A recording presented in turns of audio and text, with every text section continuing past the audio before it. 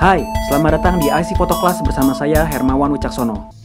Di kelas ini saya akan mengajarkan bagaimana memahami dan menerapkan konsep fotografi sederhana di dalam industri fotografi komersil. Ini adalah materi ke-6 dari 37 materi yang akan saya sampaikan di kelas ini. Untuk materi ke-6 ini berjudul foto produk. Foto produk. Fotografer menjadikan sebagian besar benda mati sebagai objek fotonya. Jadi fotografer menangkap atribut dari objek tersebut, dari benda tersebut. Bisa ukuran, warnanya, permukaannya. Pemotretan produk biasanya dibagi menjadi tiga. Yang pertama itu produknya sendiri atau katalog. Biasanya produk sendiri berdiri sendiri dengan background putih atau background hitam. Warna-warna polos, kemudian produk dalam penggunaannya lagi dipakai untuk baju, lagi dipakai oleh model, dan kemudian ada lookbook. Lookbook adalah eh, foto produk dalam pemakaian sehari-hari. Jadi ada katalog, foto dengan model, foto untuk lookbook. Untuk kepekaannya terhadap cahaya, produk dibagi menjadi tiga jenis. Yang pertama, produk solid solid dia. Yang kedua, reflektif. Produk yang memantulkan cahaya. Contoh ini stainless atau produk yang bling-bling mengkilap. Yang ketiga, produk yang meneruskan cahaya, transparan. Solid, reflektif, transparan. Cahaya tembus. Meneruskan cahaya sifatnya. Nah, foto produk sendiri lebih mudah daripada portraiture karena objeknya benda mati. Dia nggak ribut untuk diarahkan gitu. Fotografer bisa bebas mengerahkan produknya gimana aja, nggak harus tergantung mood, nggak akan capek. Yang capek adalah fotografernya, bagaimana menampilkan produk itu sesuai, menarik, bagi target audiensnya. Tips menghasilkan foto produk. Di sini ada foto saya motret jeans dan sepatu.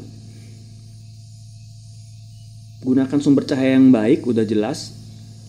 Apalagi untuk katalog ya. Jangan terlalu banyak manipulasi, cahaya yang baik aja. Bisa satu lampu atau lampu direct dari matahari bisa. Ada skala acuan kalau bisa, misalnya fotonya foto makanan bentuk nasi gitu di sebelahnya ada gitu ditaruh sendok biar orang tahu oh besar nasinya sebesar itu gitu. Bisa juga digunakan editing tapi sebatas wajar tidak melebih-lebihkan. Misalnya warnanya dijadiin merah-merah banget biru-biru banget gitu. Jadi nggak nggak nipu juga. Nanti kalau nipu kecewa kliennya yang membeli produk itu ya ambil dari berbagai macam sudut. Misalnya nih, ini produknya diambil dari sisi sini, atas bisa segini, segini, cep, cep, cep, cep, cep, agak sini dikit juga bisa, cep, cep, cep.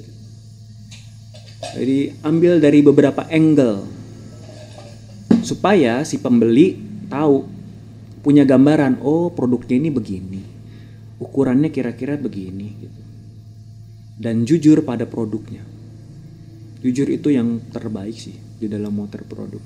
Gak usah melebih-lebihkan hanya untuk supaya produknya laku. Mungkin laku, tapi nggak repeat order kan. Karena yang kita cari, yang produsen cari itu repeat order. Habis beli dia puas beli lagi dia puas beli lagi. Dia kasih referensi ke teman-temannya referensi ke orang-orang terdekatnya dia sampai luas luas luas luas berikutnya gitu. Ada efek dominonya dari motretan tadi.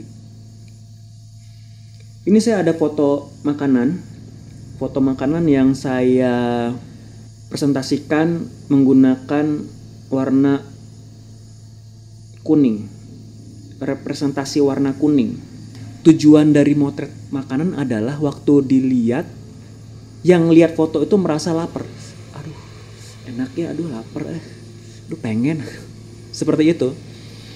Jadi foto makanan yang berhasil adalah foto makanan yang membuat yang melihatnya menjadi timbul rasa ingin makannya langsung lapar ya timbul appetite-nya untuk foto makanan ini yang saya bikin ada contohnya saya pakai lampu halogen aja nih. Jadi foto makanan dikasih lampu halogen warna kuning karena itu menimbulkan kesan warm, hangat. Makanannya hangat, makanannya enak, makanannya itu bersahabat gitu. Saya pakai warna kuning, lampu halogen kuning, cuman satu lampu dan memang produknya ini paling baik disajikan dalam kondisi hangat. Jadi untuk produk yang disajikan dalam kondisi dalam kondisi hangat, pakailah lampu kuning. Untuk produk yang disajikan itunya produk itu dingin seperti minuman, misalnya punya minuman, saya pakai lampu warna putih. Jadi ada kesan kaku ada kesan cool, ada kesan dingin, ada kesan tegas, ada kesan segar gitu di minumannya dengan pemilihan ton lampunya. Jadi ada foto bir di sini, birnya itu saya keluarin, saya ganti pakai air bening aja. Botolnya aja yang saya ambil, ada botolnya saya celupin ke dalam bak gitu Terus ada juga yang saya kasih sprinkle birnya. Yang di bawah itu ada foto sirup stroberi pakai warna putih latarnya. Dan ini sebenarnya bukan foto untuk katalog sih. Ini hanya kayak lookbook. Lookbook ini kegunaannya untuk lookbook. Penggunaan produk eh, apa penampilan produk itu keren, keren-kerenan produk gitu. Bagaimana kita ngambil foto lookbook berikutnya? Lookbook itu foto produk dengan model dengan penggun seperti kayak penggunaan keseharian dalam penggunaan kesehariannya. Sama aja konsepnya.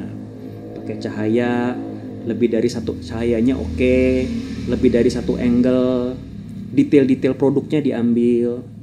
Jangan ngedit berlebihan dan ya, maksimalkan kamera aja yang ada. Kalau pakai HP juga boleh pakai kamera SLR boleh, pakai mirrorless boleh, tapi yang penting maksimal bagaimana penggunaan maksimalnya. Nah, ini ada contoh lookbook tas dalam penggunaan keseharian lookbook. Tasnya lagi digendong, diselempang tasnya, diselempang.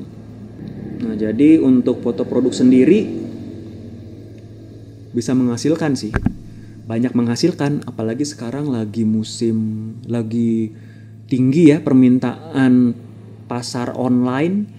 Jadi orang nggak perlu lihat produknya secara fisik yang penting lihat fotonya lihat fotonya tertarik. Lihat fotonya pesan datang makanan. Lihat fotonya pesan barang datang barang.